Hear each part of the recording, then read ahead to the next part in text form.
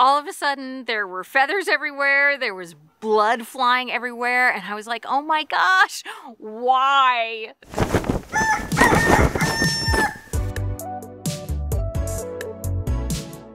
Hello, friends. Welcome to Chickenlandia. My name is Dahlia. I'm a backyard chicken educator, also known as the president of Chickenlandia. Chickens have been the best way for me to find peace and joy in my life, and I want to help you find that too. You still have a little bit of blood on you. Oh. All right, Bubba, I'll put you down. So, right before Christmas this year, there was an insane snowstorm where I live. This was just like a frozen wasteland. My chickens didn't have as much enrich enrichment as I usually try to make sure they have when they are confined to the coop and the run you know, they had their little dust bath and everything, and they have enough space.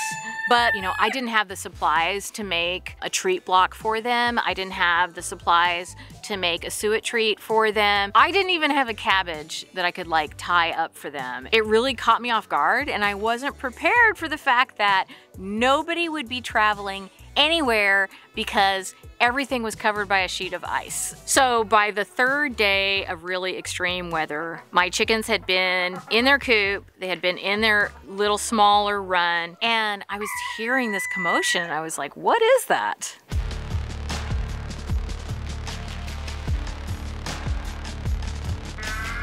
Well, I looked in the little run and my two younger roosters, Zorro and Bubble Yum, who were born this spring, they were fighting like full on blood, bloody faces, chasing each other, pulling out feathers.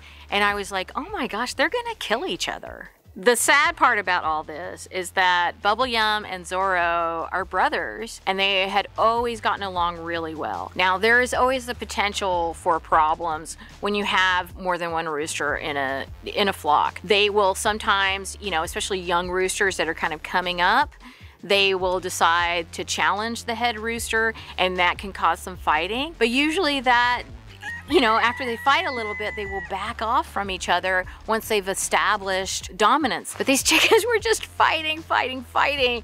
So I didn't have any choice. I had to get Zorro and just put him inside. And so I brought him into the garage. He's all bloodied up. I dealt with that. I dealt with Bubble Yum being, you know, injured.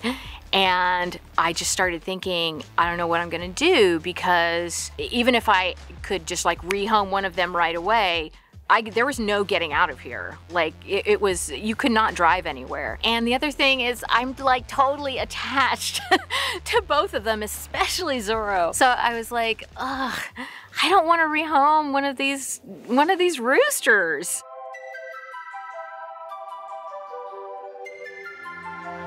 Before we go any further, you should know that I completely understand that I have too many roosters in my flock. I was just talking about this the other day on my podcast. I need to get some more hens. So that is in the works, but these things don't happen automatically. They take some time. So I'm working on it, but every flock has a different personality. And I have a relatively docile flock. And I think it's because I just have so many rescues and different kinds of chickens and ducks and they have a ton of space.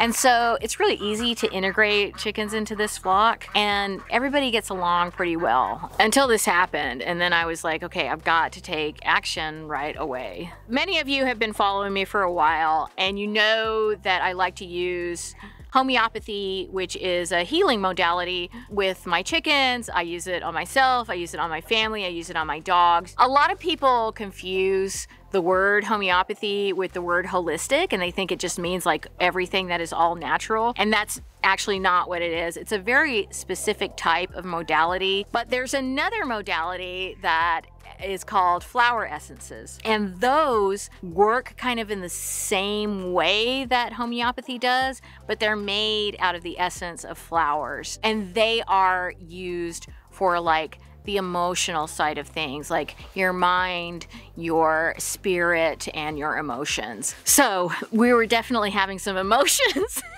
we were having some emotions in Chickenlandia.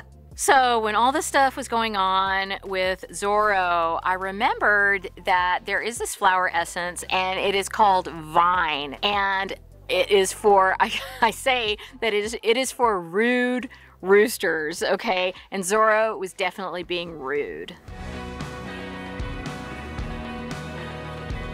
So, you know, I hadn't needed to use this before. I don't know why I've never used it on Philippe, but,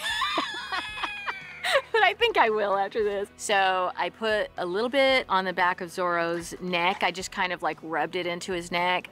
I put a couple drops of it in his water and I knew I only had about 24 hours before I needed to like get him back into the flock. Like if I if I waited longer than that, then it could really be a problem when they're trying to work out the pecking order and I'm bringing in this, you know, rooster that's been away from the flock. It's just, I just didn't want to deal with that. I knew it would be best to get him back into his flock as soon as possible. And in the morning, I gave him another dose and I was just like, okay, it's, it's like now or never, I've got to put him back with his flock and back with Bubble Yum. And you know what?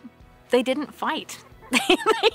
they didn't fight. And in fact, since then, they have been just like best buddies again. They've been cooperative. If there's any squabbling going on, it's being resolved very quickly. I can't say, um, you know, without a doubt that it was the flower essence that did it. But the thing that I love about homeopathy and flower essences and a lot of natural modalities is that um, they don't cause any harm.